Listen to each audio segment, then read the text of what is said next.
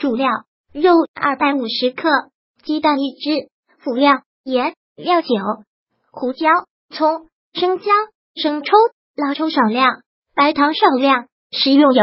把肉洗干净，去皮，放入葱，将剁成肉泥，放入鸡蛋、生抽、老抽少量，胡椒、盐、白糖少量，淋入食用油、料酒，搅拌至肉有粘性。把千张切成如图，宽三英四厘米，长八一十厘米。把搅拌好的肉用尺子均匀抹开，把磨好的干章卷起来，两头再用肉填实。把卷好的干章肉卷放入蒸锅内，蒸个二十分钟就行了。